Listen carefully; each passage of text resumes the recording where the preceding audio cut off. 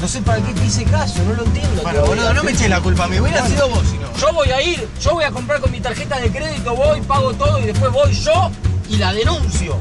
¿No querés que denuncie también que me rompí el culo a mí mismo, boludo?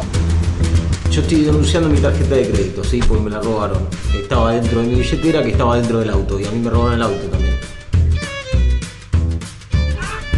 Che, ¿en qué vinieron al final? ¿Los trajeron sus papás?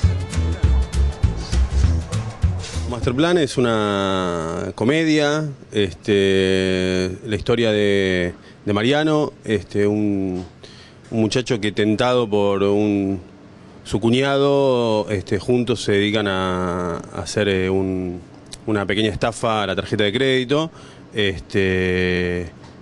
esa estafa sale mal.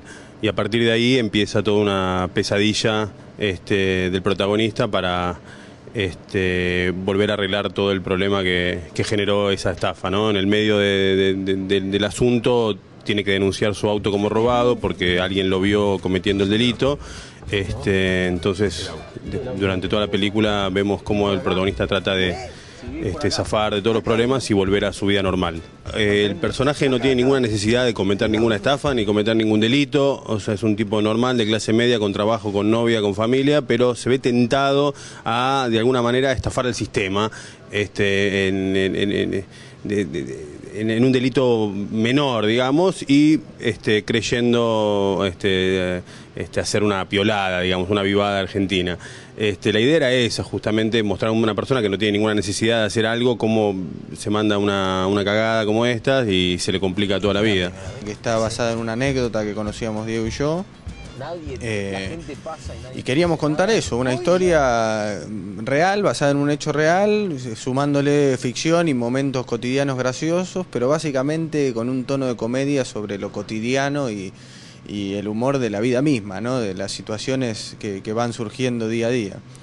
Y de este personaje que, que, bueno, que comete un error, que pobre, pobrecito por, por, por equivocarse y por querer hacer esto que, que decía Diego, ¿no? Una piolada así medio argenta, bueno, ahora cómo salgo de esto y, y para qué, ¿no? Eh, Para mí el Mariano tiene todo el tiempo esa pregunta en la cabeza, como ¿para qué? Dije que sí, ¿para qué me metí en esto y, y cómo hago ahora para volver para atrás?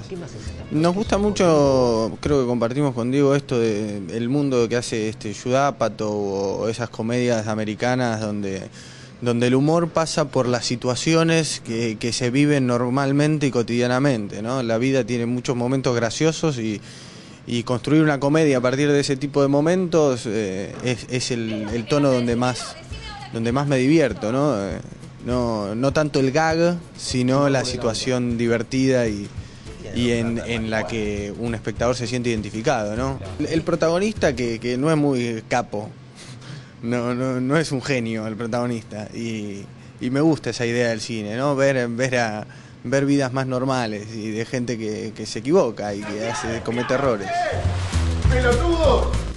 Hay que ser boludo. ¿Quién?